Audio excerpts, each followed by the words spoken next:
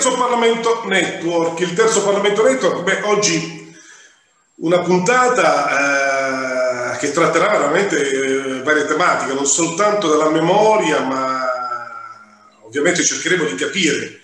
Eh, stiamo parlando del 23 maggio del 1992 e, e qui siamo, eh, abbiamo come nostro eh, ospite, insomma, uno speciale dedicato a lui, Angelo Corbo, che saluto ovviamente. In, in che zona d'Italia? Dov'è Corbo? In che, in che zona d'Italia adesso sei?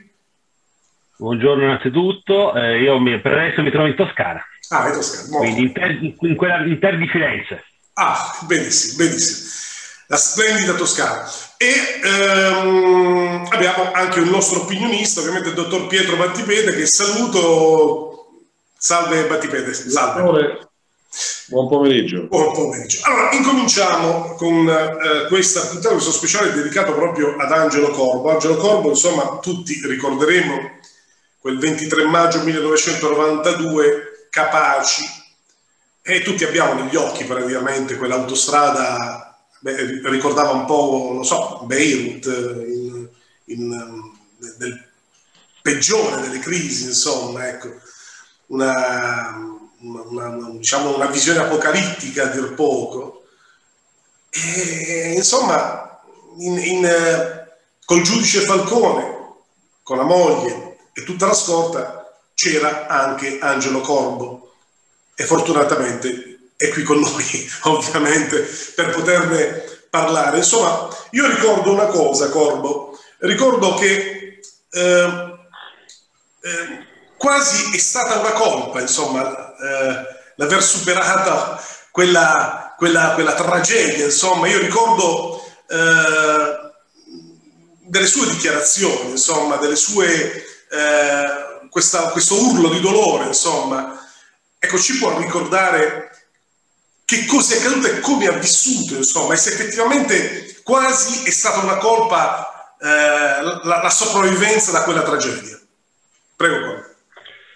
Grazie, grazie della, della parola. Eh, beh, chiaramente è stato un, eh, un, un grosso dramma, non solo per, per, per, per, me, ma per tutti quanti, perché chiaramente con eh, l'attentato di Capaci si è tolto una, sicuramente una figura importante per eh, la legalità, per la lotta contro la illegalità e quindi era una significato veramente dare uno scossone a quello che era la storia del Novecento. Uh, quindi, e io purtroppo mi trovavo lì perché ero uno dei componenti della scorta di Giovanni Falcone, quindi quel giorno ero in servizio. Una giornata normalissima, io, io spesso ripeto, anzi quasi quotidianamente nei miei incontri nelle scuole, che era una giornata normalissima, per noi non c'era nulla che ci faceva presagire qualcosa di diverso. Quindi nessuna sensazione, nessuna sensazione, nessuna... Allora, sensazioni, quel giorno sensazioni no, Avevamo, noi sapevamo che eravamo a rischio. E allora, noi giornalmente eh, sapevamo di essere sotto mira, eh, scortavamo un uomo che si, si definiva un morto che camminava perché chiaramente la mafia e chi per essa gli aveva giurato uh, la morte e quindi sapevamo quindi che eravamo sempre in, in, pericolo costante.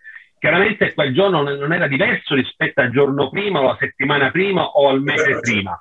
Eh, in questo senso, diciamo, non, non che eh, c'è un segnale diverso rispetto agli altri giorni, quindi tutto uguale. E tant'è che quella giornata per noi era la solita, non dico routine, ma comunque e sapevamo che dovevamo andarla a prendere all'aeroporto, l'avremmo poi accompagnato a casa, successivamente poi la sera, eh, come faccio, sempre faceva, il fine settimana o rimaneva a casa o comunque andava a casa da amici o parenti. Quindi per noi era questa la routine normale. Dire, sapevamo che prima o poi qualcosa sarebbe successo, perché già da, dall'inizio di gennaio di quell'anno erano arrivate le voci che era in preparazione un grosso attentato a Palermo. Ehm, sapevamo quindi che Falcone era il numero uno di quelli che potevano rischiare di, di, avere, di subire un attentato. Quindi ecco perché eh, ce l'aspettavamo. Ce ecco, Corbo, una, una, una, una domanda in particolare. Io ho la sensazione che forse la dichiarazione più pesante che Falcone ha fatto, al di là insomma poi diciamo, dell'aver convinto Buscetta e tanto altro, fu proprio quando dichiarò che dietro la mafia, dietro certe, certe realtà mafiose, ci sono menti raffinatissime. Io penso che quella frase, praticamente, in particolare, forse è stata la, condanna, la vera condanna a morte di Giovanni Falcone. Lei cosa ne pensa? Allora, ma sì, questo ci si, ci si, arrivava sicuramente nel corso della discussione quando poi guardavamo magari il, l'avvenimento del eh, proprio la, uh, diciamo, l'attentato. Ma quindi possiamo già dirlo adesso. Sicuramente Falcone eh, da quando si era trasferito a Roma eh, al Ministero di Giustizia, quindi a Ca- insieme eh, lavoravano insieme a Martelli e chiaramente era diventato più pericoloso, non per Cosa Nostra siciliana o chiamata Cosa Nostra siciliana, quelle della manovalanza spiccia, io dico, eh, non era pericoloso per Totorrina o Bernardo Provenzano, ma diventava pericoloso per quella, quell'altro settore, quello che praticamente, a mio parere, manovra la mafia siciliana, eh. ovvero il potere forte, il potere spesso che arriva da Roma o da Milano, dove c'è l'economia forte, o politica o economica.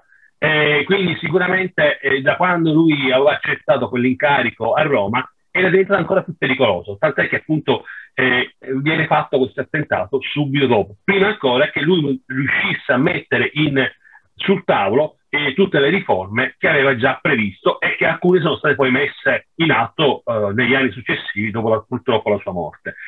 Poi, in, appunto, rispondendo anche alla sua domanda, è proprio quella, la, se noi guardiamo la modalità dell'attentato, ci rendiamo conto e possiamo, solamente gli stupidi non si rendono conto che non può essere mai un attentato organizzato e voluto dalla malevolanza di, della mafia siciliana, ma neanche da, non, è impensabile che una mente come quella di Bernardo Provenzano o quella peggio di Totorrina o di Brusca o di Gricoli o di Santa Paola possano aver messo in atto un attentato con, di quelle proporzioni.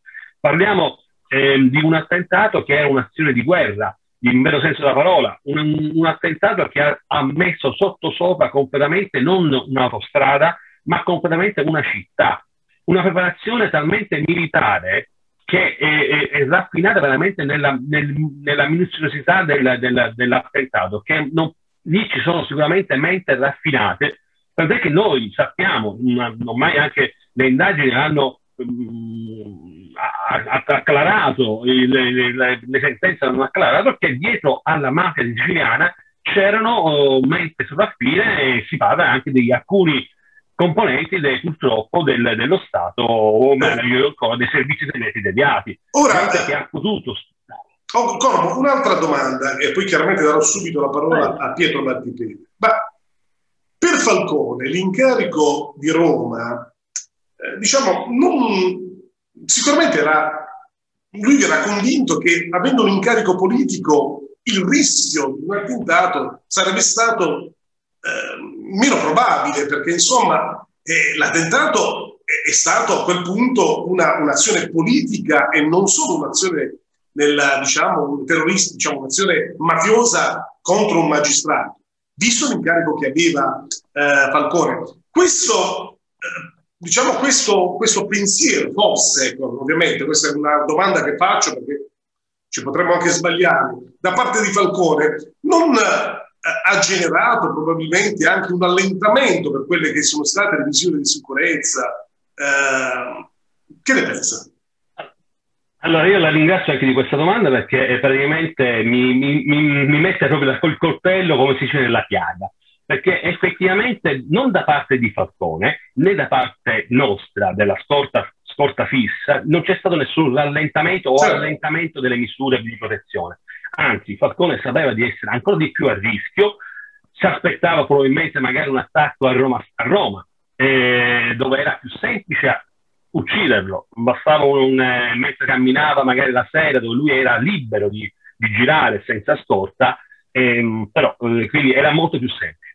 Il problema è questo, che l'allentamento probabilmente c'è stato, ma voluto da, da quella parte di Stato che ha voluto venderlo eh, che quella parte di Stato che ha fatto in, in tutte le maniere per, mm, per renderlo meno, meno, più vulnerabile.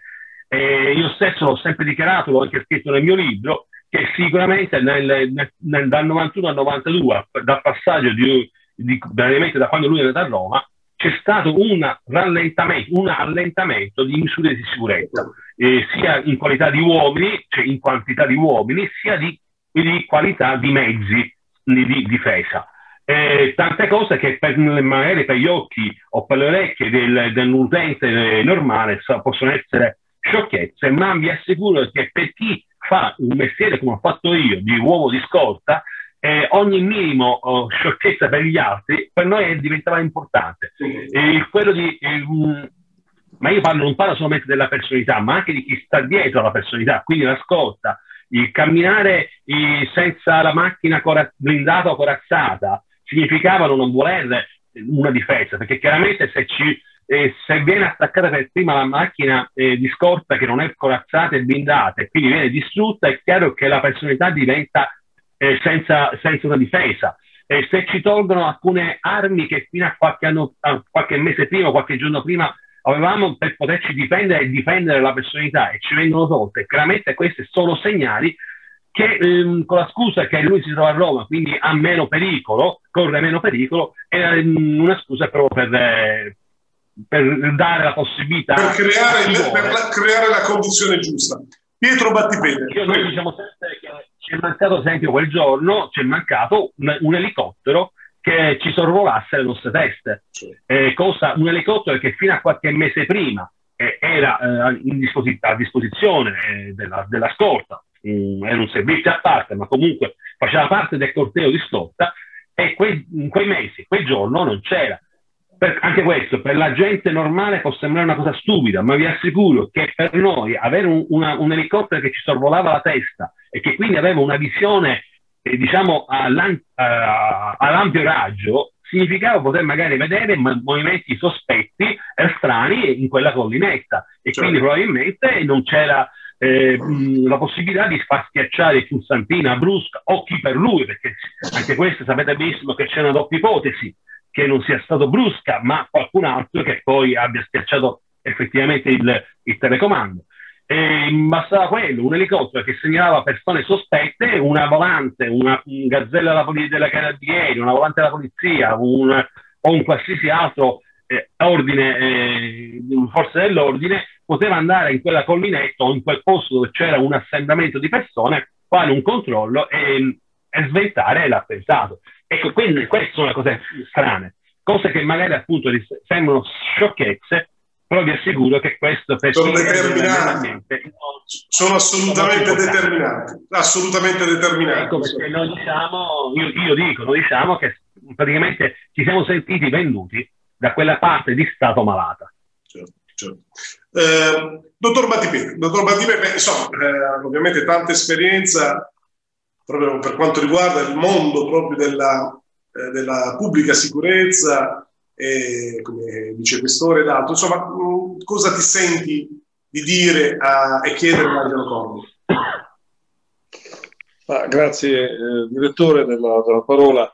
Devo dire che con Angelo Corbo c'è un bel rapporto eh, perché abbiamo condiviso eh, in eh, precedenza degli incontri nelle scuole, quindi ho avuto modo eh, di conoscerlo proprio per la sua sensibilità e per le, la sua delicatezza, oltretutto nell'affrontare un tema come quello della mafia, di Falcone, eccetera, che avrebbe potuto portarlo anche ad assumere atteggiamenti eh, particolari o, com- o, comunque discutibili e seppur giustificabili. Ora, eh, io mi, mi auguro, caro Angelo, che ci si possa incontrare di persona eh, come abbiamo fatto in precedenza, ma sono particolarmente, ripeto, contento di averti eh, in, eh, in, questa, in questo eh, spazio di intervista proprio perché la tua è, è una di quelle, ehm, di, diciamo, di quelle interviste appunto dove eh, parliamo con una persona che ha vissuto il dramma, che ha vissuto la situazione, che ha conosciuto certi personaggi. Non sei la persona che può raccontare per sentito dire o perché ha letto i libri o perché si è informato. Quindi voglio dire, abbiamo una effettiva, come dire, eh, risonanza obiettiva oltretutto. Ora, mh, la, ho diverse domande, però te ne faccio una prima di tutto, che è questa. Ehm, secondo te, ecco, chi ti preoccupa eh, di più tra mafia, servizi segreti deviati e magistratura corrotta? Ed eventualmente perché? Beh, scusa, eh, Pietro, metterei anche massoneria deviata. Come? Metterei anche massoneria deviata, insomma, forse. A... Massoneria deviata, eh, sì. Oltre, oltre, a quello che hai detto, oltre a quello che hai detto, ci metterei anche questo. Ok. Guarda, ehm, allora innanzitutto ti ringrazio delle tue parole, Pietro, beh, ci siamo sentiti, sappiamo che appunto la, condividiamo lo stesso ideale, quindi eh, per questo oh, mi trovo anche qui oggi a partecipare perché grazie diciamo, al, al tuo interessamento mi fa piacere di essere qui. È una bellissima domanda, ma eh, hai parlato di, anzi avete parlato di quattro elementi che secondo me sono tutti uno accanto all'altro, tutti legati allo stesso filo, perché se si parla di massoneria si parla di mafia. La mafia, la, mass- la mafia, non è altro che una branca della massoneria. E, storicamente la mafia è nata dalla massoneria e mh, mm, loro si facevano anche i battipaudi, che non è altro che una, una loggia massonica. E quindi eh, siamo legati. La massoneria, purtroppo, nella massoneria sappiamo benissimo che molti appartenenti alla massoneria e quindi legati di, col filo diretto con le, le, cosche mafiose ci sono molti, molti magistrati e giudici e, e questo non, hanno, non, lo dice Angelo Corvo, lo dicono eh, i fatti di, questi, di, di, tutti questi anni e, e di conseguenza i servizi segreti, ma i servizi segreti non sono altro che il braccio armato di quelle, della massoneria di, o di quella, o comunque delle, di quella parte di Stato corrotta. I servizi segreti deviati, perché sono, chiaramente dobbiamo distinguere eh, con i servizi segreti tanto onore a, a, chi appartiene ai servizi segreti, però purtroppo, così come in polizia, così come nei carabinieri, così nella finanza, non tutti sono ligi al dovere, ma qualcuno per interessi personali, perché parliamo sempre di Dio denaro, il Dio denaro è quello che, che sconvolge la vita di tutti quanti, per Dio denaro la gente è, mh, è corrotta, si corro- si fa- è facilmente corru- corruttibile, e quindi ecco che abbiamo i servizi segreti deviati, abbiamo la polizia corrotta, i carabinieri corrotti. Chiaramente parliamo di una minoranza, però purtroppo in questi casi la minoranza molte volte è talmente forte che quindi spinge tutto, tutto l'apparato. Ma deve dire, tutte e quattro le figure sono uno, collegate uno, uno, con l'altro. Ecco, Corbo, Corbo una, una domanda a questo punto, perché Paolo Borsellino disse, guardate, se vogliamo capire il fenomeno mafia, noi non dobbiamo raccontare soltanto quello che è accaduto negli anni 90 ed altri, ma dobbiamo andare alle origini dell'unità d'Italia. Non dimentichiamo che Garibaldi entrò a Napoli con un patto proprio con la Camorra, con Torre Crescenzo e tutti i suoi affiliati, mediante il barone di Borio Romano, che era l'ex ministro diciamo, del Regno delle Due Sicilie e capo della polizia. Quindi l'Italia nasce con un patto Garibaldi con la Camorra. Ora, e quindi attenzione, è Garibaldi con i picciotti in Sicilia, in Calabria e compagnia bene. Quindi, se questa Italia nasce con questo patto, ecco la conseguenza di tutto. Quindi non è facile, diciamo, sbrogliare un diciamo, una, una, una, realtà nata in, questo, diciamo, in queste eh, condizioni. Prego. Direttore, sì, le ricordo anche che si parla anche che lo sbarco degli alleati a eh, Sicilia dall'Italia hanno fatto grazie al consenso e all'appoggio di, del barone che il barone delle latifondista dell'epoca non era altro che eh. quello che oggi eh, raffiguriamo come il capo mandamento.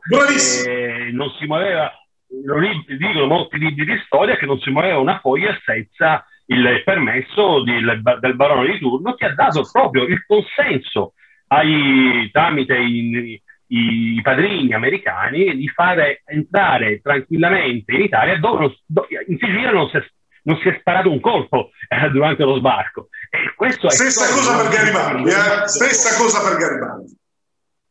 Quindi ecco, eh, quindi, eh, diciamo, quando io dico che ehm, la mafia non è altro che un, l'operaio, di quella, della, quella massoneria, di, di quei servizi segreti deviati e di quello Stato corrotto, non dico una fesseria, proprio perché la mafia non è altro che il, il, il finale, il braccio, il braccio che, mh, mm, che dovrà per forza um, diciamo, eh, adoperarsi per liberare la strada. Eh, che si chiama Garibaldi, che si chiamavano gli alleati o chi per interessi per propri e personali chiaramente eh, vuole arricchirsi sulle spalle della cittadinanza onesta, della, le, togliendo la dignità degli uomini.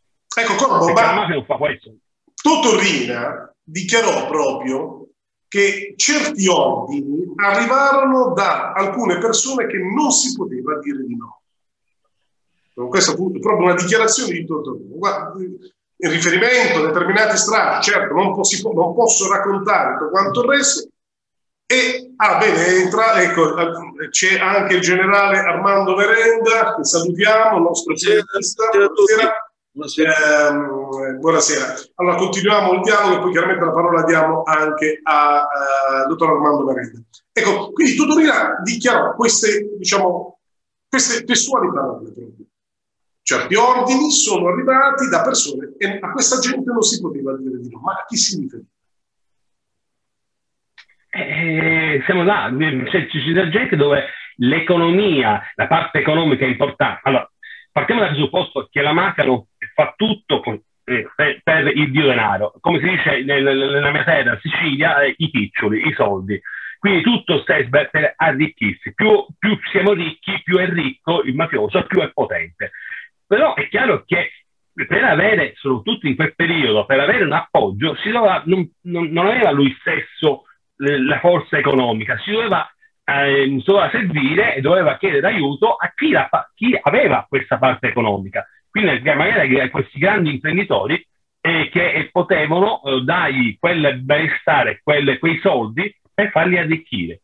E anche lì ci sono tanti voci, ci sappiamo benissimo, è inutile che io non li sto a ripetere, ma i magistrati hanno lavorato e stanno lavorando, ci sono anche degli appunti dell'epoca di, di Giovanni Falcone dove si parlava di grossi imprenditori nei, nei Lombardi, per non dire di Milano. E chiaramente poi se c'è il politico eh, importante, eh, um, come magari poteva essere un Andreotti degli anni 70, 80, è chiaro che non si poteva dire di no.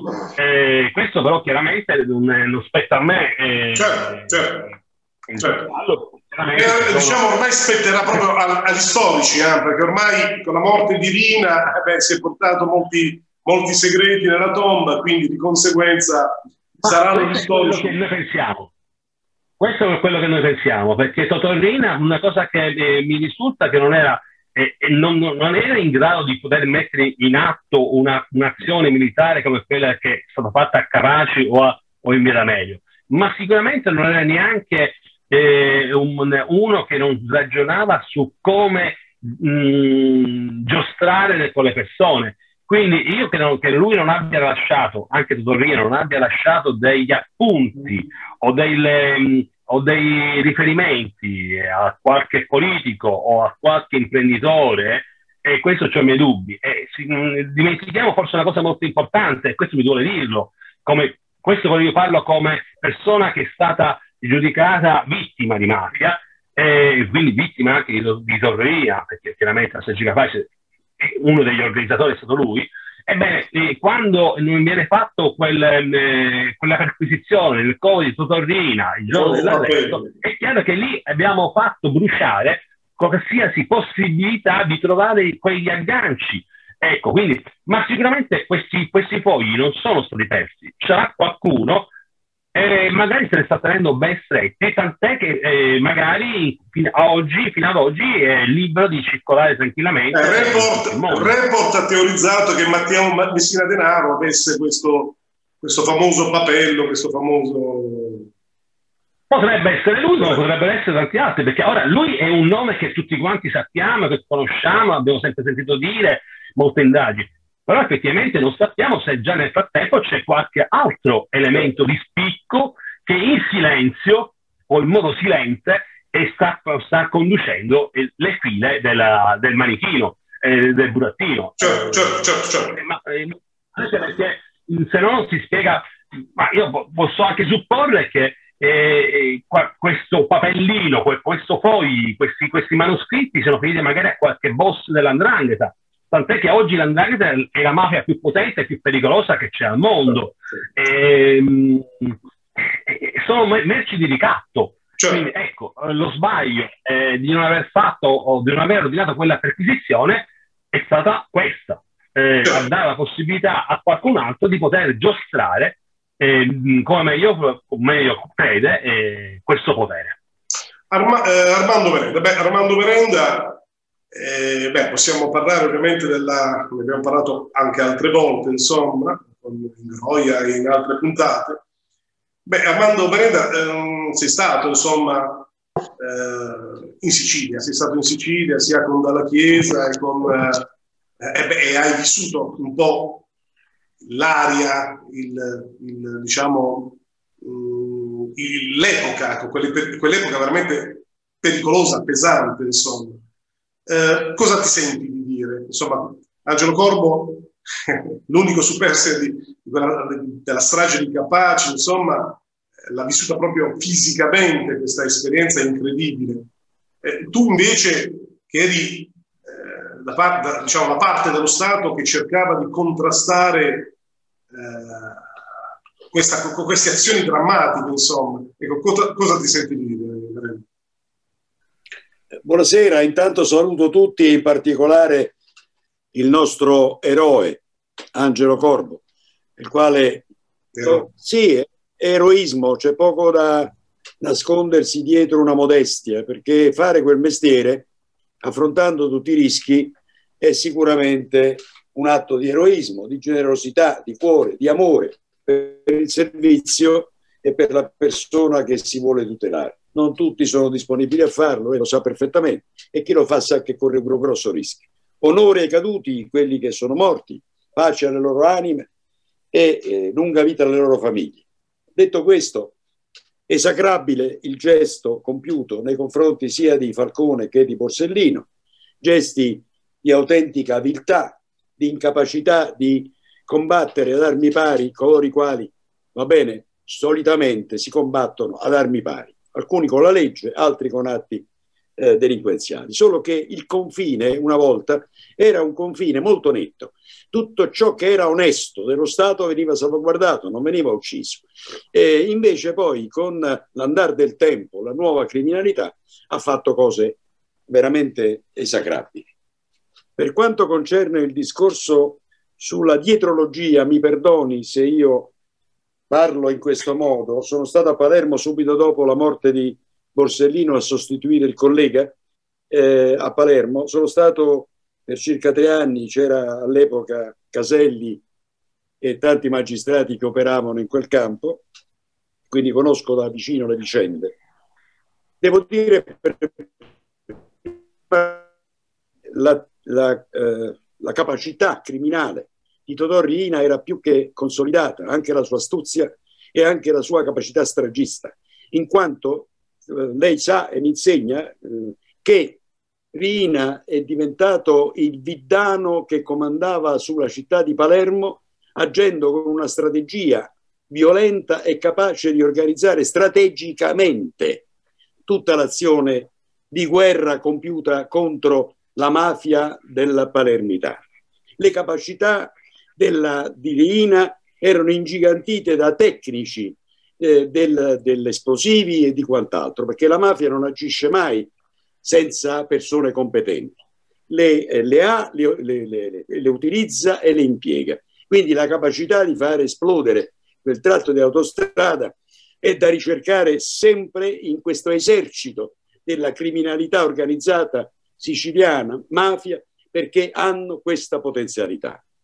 Per quanto concerne, come ha detto lei, che l'andrangheta, l'andrangheta è impenetrabile. Perché? Perché a differenza della mafia, a differenza della camorra, ha un vincolo di sangue che come quella albanese la rende impenetrabile. Difatti pochi pentiti per l'andrangheta, molti pentiti per la camorra, alcuni per la mafia. Detto questo, devo dire che non dobbiamo riabilitare Riina, nel senso che, mi spiego, Non voglio che la mafia sia riabilitata in danno dello Stato.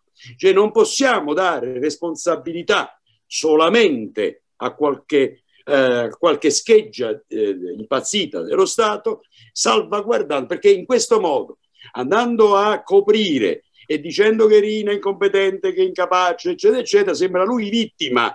Non è vittima, Rina non era assolutamente. È stato lo strumento anche.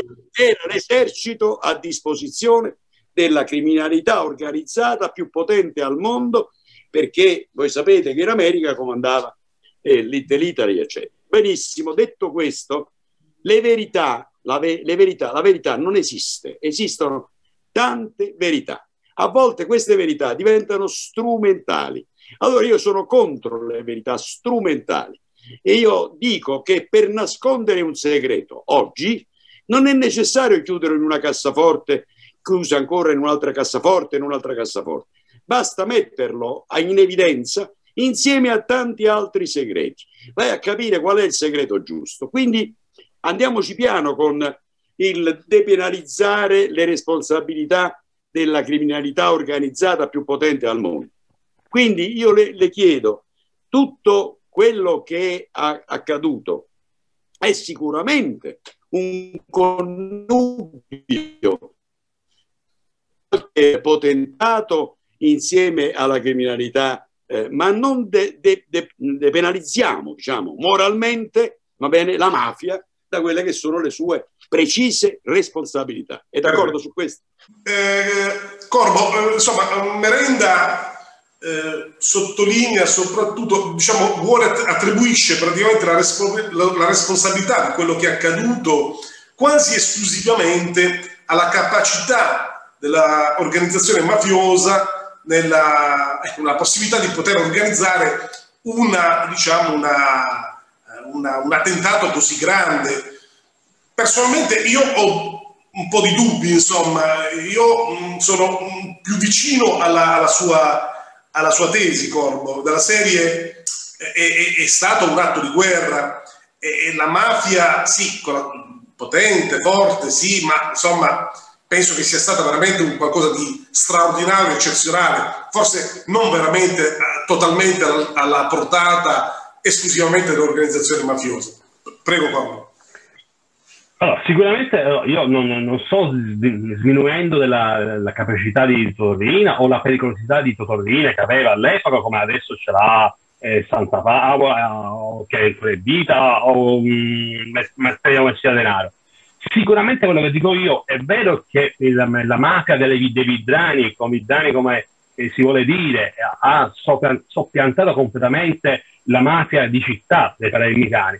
Ma io, sinceramente, io um, sono nato nel 65, quindi io, diciamo che sono cresciuto in, nella Palermo eh, popolare, della, di un quartiere popolare, fino a eh, tutta la mia giovinezza, fino all'età di 27 anni, quando poi mi sono trasferito, dopo i fatti dell'attentato, e io sinceramente di grossi, eh, mh, grossi eh, azioni di guerra, come quelle che erano avvenute, appunto, era avvenuto e capaci. Mi ricordo solamente il, il, l'attentato di Chinnici eh, con, la, con, la, la, con, l'autobomba, eh, si parlava all'epoca che era l'attentato stile Beirut, eh, ma di grossi attacchi poi fatti in questa maniera, sinceramente, io personalmente, ma mi posso anche sbagliare e vi chiedo scusa eventualmente, mi, non, non mi ricordo. Poi è chiaro che fra di loro si siano ammazzati con gli agguati, con eh, quello eh, ci sta. Poi loro erano più forti, avevano più armi, avevano più agganci e quindi avevano un materiale bellico anche maggiore rispetto a tante altre cosche del palermitano.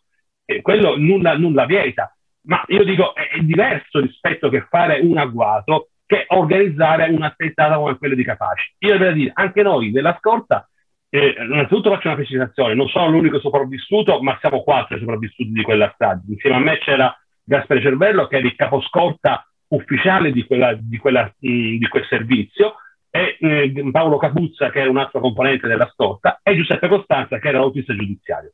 Eh, questo perché non mi piace di, di, dire che sono io l'unico sopravvissuto, perché... No, no, no, no, ha fatto benissimo eh, No, no, anche perché è, è giusto no, no, che non, ricord- non veniamo ricordati e quindi giusto Beh, i quattro eroi, sì, sì, sottolineare i quattro eroi. Sì. Sì.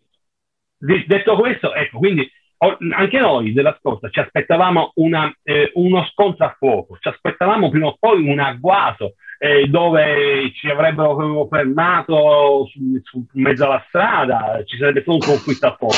E lì chiaramente è una cosa, tra virgolette, normale, una cosa che chiaramente eh, siamo abituati a poter rispondere, siamo non abituati, siamo organizzati e sappiamo rispondere. Ecco, come, come, dice Merenda, era, era, era la pari in questa maniera, era una situazione era, pari. pari. Poi chi è più bravo, chi è più bravo vince. E questo, ma questo avveniva anche, è avvenuto anche negli scontri che si fa di loro, eh, fra, fra le varie cosche. Per dire, io, io, dico che organizzare un attentato, ma non lo dice Angelo Corno, lo dicono anche gli altri del processo, che per organizzare un, un, un attentato come quello di Capaci era talmente complicato che non è saper solamente accendere una miccia, ma dire anche come, dove accenderla, cosa mettere in quel cunicolo, come fare sì che non venga tutto, eh, eh, svanisce, eh, la tempistica. poi parliamoci chiaro, Totorina per, per, per, quello che possa essere, ma mh, mm, non, non, sembra che ci, abbia, ci, ci avesse un uomo eh, dentro l'aeroporto di, di Ciampino. Ricordiamo eh, questo l'aeroporto è l'arrivo di Falcone. L'arrivo di Falcone e quindi questa operazione preparata già da tempo e questo è il punto. Eh, ma l'aeroporto Ciampino l'aeroporto, era un aeroporto militare, militare. quindi eh, cioè, ora è vero che non agganci su tutto, però questo non significa che poi io quando parlo dello Stato, non, chiaramente ho, dei, dei, non, non, ho, detto anche prima, non parlo dello Stato in generale, anzi ho detto prima che una mini, minima parte dove, che c'è ovunque purtroppo, purtroppo quella minima parte ha, ha, avuto, mh, mm, ha dato prova di sé e è riuscita a far organizzare o, da, o vogliamo dare, dare un contributo sicuramente fermo a Tutorina e ai suoi compari di merenda per, mettere, per far tacere il pericolo numero uno. Cioè, non sono compari, non sono compari miei. Eh. no, ovviamente, ovviamente. Non niente. No. Non, cominciamo, non cominciamo e si comincia così e poi si eh, assolutamente, assolutamente. Ma dipende. Io ho comandato il reparto, il reparto provinciale, non... Assolutamente. Eh, Battipede. Sì, Caro Angelo, mm, dopo la prima domanda che insomma era provocatoria ma soprattutto cercava di eh, percepire una tua opinione su quelle eh, situazioni di cui abbiamo parlato.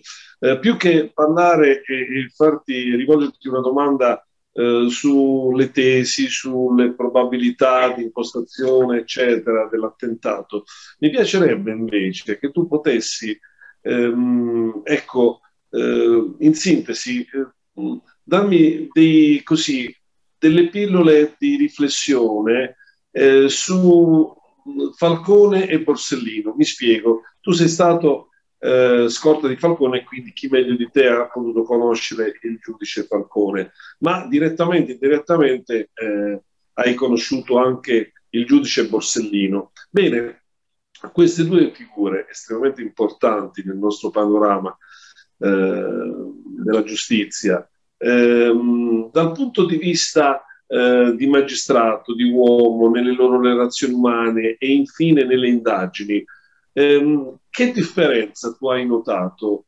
eh, nel poterle così descrivere? E un'altra cosa agganciata a questa domanda è nelle scuole quando ci sono stati gli attentati e tu hai iniziato poi pian piano a frequentare eh, questi corsi di formazione sulla legalità e quant'altro, hai visto eh, da allora ad oggi un cambiamento eh, nei ragazzi? Eh, abbiamo problemi di audio, ma sì. Eh, sì ho, ho, perso l'ultime, l'ultime Ah, si è visto sì un cambiamento da parte dei ragazzi, insomma, da, da, da quando dicevo, dicevo, no, dicevo, dal, dai primi incontri con i ragazzi ad oggi, eh, voglio dire, secondo te i ragazzi hanno dimostrato maggiore sensibilità al fenomeno minore oppure eh, qual è la tua opinione? Cosa hai avvertito anche in questo in questo fatto? Allora, ti rispondo innanzitutto alla prima domanda. Io, ormai, eh, come tu sai benissimo, eh, io ho fatto parte della scorsa di Giovanni Falcone dal, dal, 1990. Anche lì, quando si parla della volontà forse di, eh, di difendere per bene un personaggio come, come Falcone, eh, bisogna anche vedere un pochettino il, come viene scelto eh, Angelo Corvo e come vengono scelti insieme a lui altri circa 12 appartenenti a quella scorta fissa. Ovvero, vengono presi mh, 12 elementi, 12 eh, agenti di polizia, eh, di cui um, almeno 8-9 senza uno, una, un corso specifico di scorta, io addirittura con due anni e mezzo di servizio, di cui due anni passati a fare servizio come al reparto mobile come obiettivo fisso, quindi sotto casa dei vari magistrati, giudici. Eh, e quindi ecco, già, già questo fa, deve far significare al direttore che mi ha chiesto all'inizio qual era la volontà. Probabilmente già questo significa avere poca volontà di difendere un personaggio come Falcone.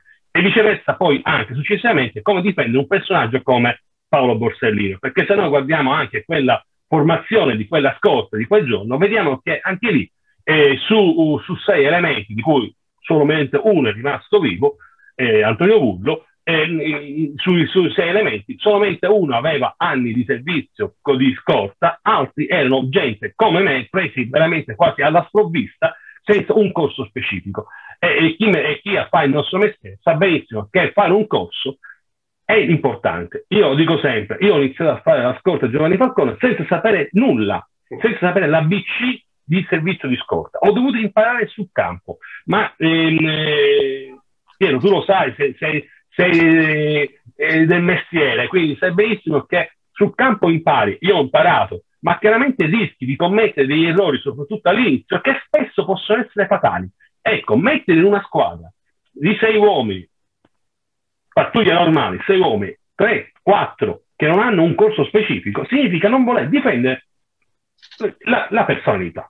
Io questo voglio essere sincero, da uomo, da cittadino libero, da cittadino libero dico questo eh, se no non si, non si il, il, fondo del barile per, per, per, prendere Angelo Corvo. Io, dire, io non ero in grado di poter difendere Giovanni Falcone come lui meritava. Allora, quindi rispondo anche alla domanda. Chi era Giovanni Falcone? Giovanni Falcone era un uomo stupendo sul lavorativo.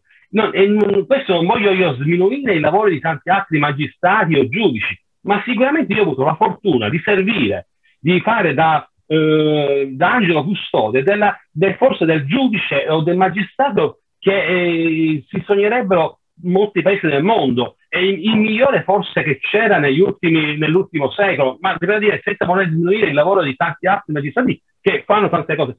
Ma lui aveva una, un arcume, una preparazione di base e una voglia di arrivare, di dare dignità alla propria terra che andava oltre io lo dico sempre, io ho avuto la fortuna di servire una, un professionista e lui era un professionista e questo lo riport- si riportava su tutto quello che faceva. E chiaramente lavorare con lui significava anche dover essere tu stesso un professionista, perché lui non poteva permettere di vedere intorno a sé gente che non lavorava, che non sapeva lavorare, che non voleva lavorare. Ecco, questa è una cosa importante. Questo perché? Perché poi ti dico che come uomo, l'uomo Falcone con la scorta non era sicuramente un, un personaggio facile. Io um, l'ho detto varie volte anche nel, quando abbiamo fatto i, gli incontri fra di noi, no? E, mm, non, io quando sento dire eh, da, da, persone, diciamo, del mio ambiente, del nostro ambiente della polizia, che Falcone era un amico con i poliziotti, che andavano a mangiare al ristorante insieme, o che gli raccontavano pure quante volte andavano in bagno, io mi, prendo, io mi metto a ridere e mi, anzi mi vergogno pure di queste cose perché Falcone non dava confidenza su queste cose. Questo non, non significa che con qualcuno abbia detto buonasera, buongiorno, come sta? E, magari rispetto a me che ero l'ultimo ruota del carro, questo non c'è stato. Ma dire che si, si, a mangi- si andava a mangiare da amici, come spesso fanno, fanno vedere nei film, o molti persone raccontano nei libri, questa è una grossa baggianata. Quindi questo. Poi che invece io, avendo conosciuto amici intimi di Falcone in questi anni, mi hanno raccontato che Falcone fuori dall'ambiente professionale, era una, un mattacchione, era una persona a cui piaceva tantissimo scherzare, il bullo della, de, della comitiva, questo è un'altra paio di mani. Riguardo Borsellino, io ho avuto la fortuna, anche lì la fortuna, di fare servizio anche con Borsellino, perché chiaramente, come sapete benissimo, Falcone dal lunedì, martedì al, al giovedì, venerdì si trovava a Roma. Quindi la scorta di Falcone non aveva senso esistere. Quindi, ma non è che noi potevamo stare a casa a non fare nulla, quindi ci impiegavano in altri servizi. E io la settimana prima della, della strage di Capaci, quindi parliamo della settimana che andava dal, 20, dal 19 al 23, io ho fatto un turno completo di servizio con Paolo Borsellino, con la scorta di Paolo Borsellino. Ecco, Paolo Borsellino era una persona completamente diversa come uomo rispetto a Falcone. Era anche lui un grande professionista, era anche lui un grande, prepara- una preparazione anche lì eh, eccezionale. Eh, lui conosceva veramente a menadito tutto ciò che riguardava le famiglie mafiose. E, e quindi anche lui ci, ci, metteva anima e cuore per la sua attività, perché voleva anche lui ridare dignità alla propria terra. Ricordiamocelo questo, perché loro volevano questo, dare, ridare dignità alla Sicilia, a Palermo. Corbo, eh, mi, mi scusi, se la interrompo, ecco, abbiamo, siamo veramente a quattro minuti dalla fine della, della puntata, quindi se possiamo arrivare a, a, questo punto a una sintesi e diciamo, quindi chiudiamo la risposta uh, di, come si chiama, dalla domanda fatta da Battipede e poi arriviamo alla chiusura. Prego. Allora, sicuramente, quindi la risposta è questa. Borsellino era molto più un padre di famiglia rispetto magari, e con la scorta sto parlando, rispetto a Giovanni Falcone. Poi quanto riguarda la seconda domanda, quella delle io se ho trovato un cambiamento in questi dieci anni che vado in giro nelle scuole, allora io devo dire che ho trovato molto interesse nei ragazzi, poco interesse negli adulti, alias professori, soprattutto nella parte spesso dei dirigenti scolastici, che diventa la lezione di legalità o quindi di ricordo di certi personaggi, di certe situazioni, un peso, un modo per dire non ne posso fare a meno, allora lo facciamo. Ma io devo dire che i ragazzi vogliono hanno voglia di scoprire. Io faccio incontri dalle quarte, quinte elementari fino all'università della terza età. Quindi in loro ho visto sempre grande interesse. Poco interesse o, o parte di interesse verso i professori, cioè quelli che organizzano molti interessi, ma tutti quelli che stanno intorno spesso mi interessa più finire il programma scolastico dicendo che la legalità, la Costituzione o la Carta Costituzionale non è importante spesso nei dirigenti scolastici ho visto un veramente un diniego dell'attività fatta dai suoi collaboratori. Eh, noi, e noi del terzo Parlamento confermiamo, confermiamo perché anche su altre tematiche, d'Italia, tante altre cose, c'è sempre questo atteggiamento un po' refrattario e quindi invece la scuola si dovrebbe aprire molto di più a tematiche poi reali, soprattutto di uomini che hanno vissuto in prima linea questo tipo di esperienza. Eh, una cosa rapida, eh, il, il, nome del libro che ha scritto Corbo qual è, in modo tale che lo consigliamo a tutti i nostri amici? Il mio libro è semplicissimo, Strage di Capaci, Paradossi, Omissioni e altre dimenticanze. Perfetto. Della Dipla Edizioni Benissimo, un libro che assolutamente consigliamo e quindi sicuramente metteremo anche la copertina. La copertina. Siamo veramente in conclusione. Eh, se veramente un, un secondo merenda, proprio un secondo. Mi consenta una piccola mm, considerazione. Lei sa bene che gli uomini che difendono il paese un sindaco, comunque chi ha l'autorità la prima cosa che viene fatta è l'isolamento e il denigramento. E Falcone è stato denigrato e isolato, ma non fuori del proprio ufficio. Attenzione, anche, eh, oh, e non solo, ma anche da suoi colleghi, ma anche da, da una stampa particolare. Mi ricordo quella trasmissione di Costanzo. Cioè, molte volte la, le verità, purtroppo, se andiamo a cercare, non sono molto distanti poi per quanto concerne Fiumicino, mi consenta, lei è, è un uomo d'esperienza.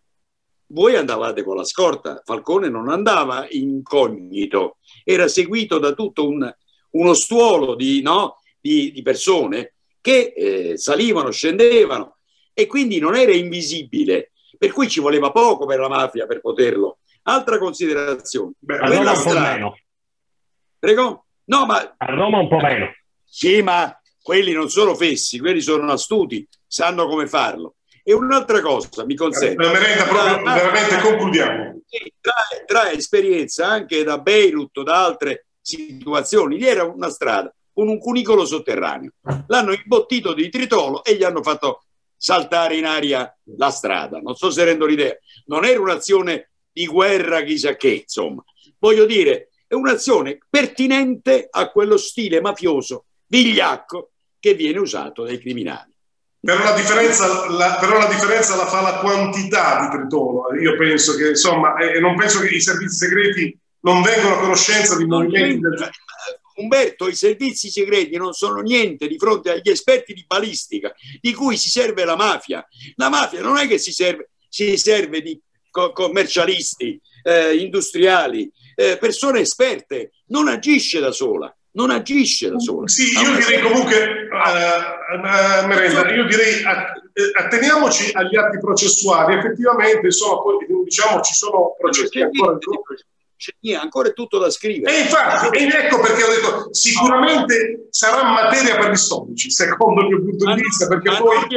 ma, non, ma non riabilitiamo la mafia. Non ma assolutamente, assolutamente. La mafia, ma, mafia. ma assolutamente, assolutamente. Benissimo, allora io ringrazio personalmente Angelo Corbo e spero di eh, rincontrarla insomma per altre puntate, per parlare sempre di più Ehm, non solo di mafia, ma veramente, ecco, sì, per raccontarla, insomma, e cercarla di capire di capirla meglio. Permetto un ringraziamento speciale da parte mia, da Angelo Corbo, un ringraziamento al nostro opinionista, dottor Pietro Battipede, ovviamente per la partecipazione a questa puntata e ovviamente anche al nostro opinionista, dottor Armando Merenda. Quindi un saluto a tutti quanti e alla prossima puntata. Grazie a tutti.